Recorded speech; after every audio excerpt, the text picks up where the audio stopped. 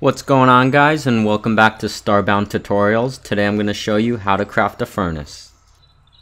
Now we're going to head over to our craft table, hover over it, press E, type in furnace.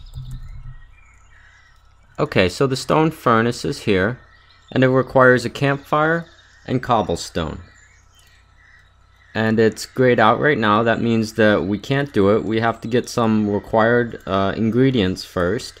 And the campfire is shown in red. It shows that we have zero one campfires. So we need to get a campfire first.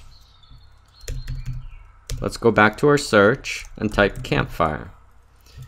Okay so we have the campfire here. It's lit up and uh, we have all of the ingredients for it one torch and 5 unrefined wood.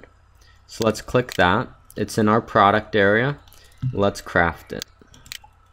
Click craft. Notice at the bottom that you have obtained the item. Let's go back to the search and let's go back to furnace.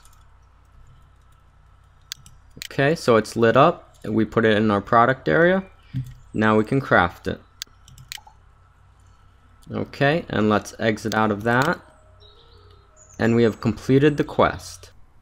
Thank you for watching and please remember to subscribe for more videos. Thanks.